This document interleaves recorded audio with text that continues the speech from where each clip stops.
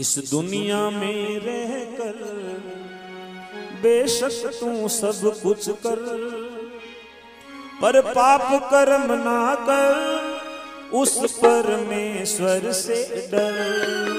इस दुनिया में रह कर बेशक तू सब कुछ कर, पर पाप कर्म ना कर, उस मालिक से तू डर।